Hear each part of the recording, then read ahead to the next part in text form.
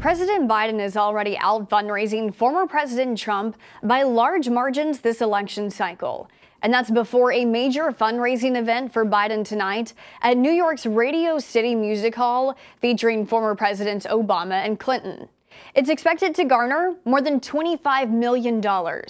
Let's take a look at some of the money both campaigns have raised so far. You'll notice Biden outpacing Trump. With cash on hand, it's three times as much. But among small donors, it's Trump with more support. Let's first look at the big picture, the total amount in the bank for each campaign. Biden has raised $248 million compared to Trump's 168 million. Biden not only outraising Trump, but spending less too.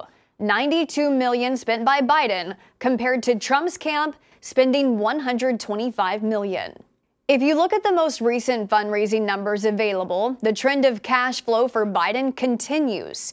Last month, Biden and the Democratic Party raised a combined $53 million, compared to Trump and the RNC's 31 million. While Trump's campaign has significantly less money overall, they have so far raised more money than Biden among small donors in 2024. These are people who make $5, $25, $50 donations to a campaign, any amount smaller than $200. Among this group, Trump outraised Biden by about $10 million in January and February.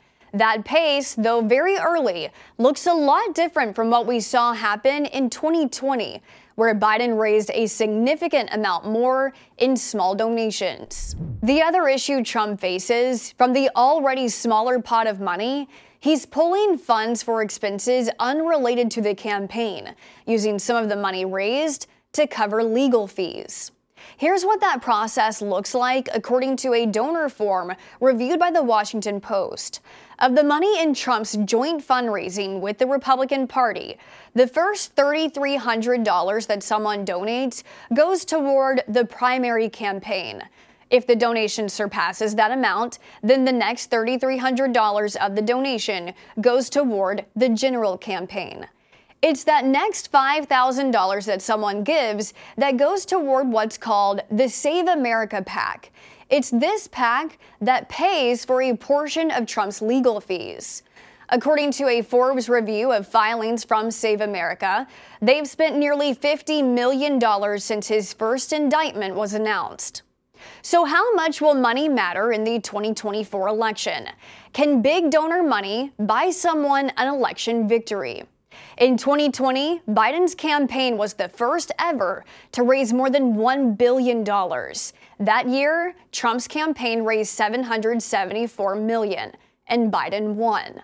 But in 2016, Hillary Clinton raised twice as much money as Trump and lost.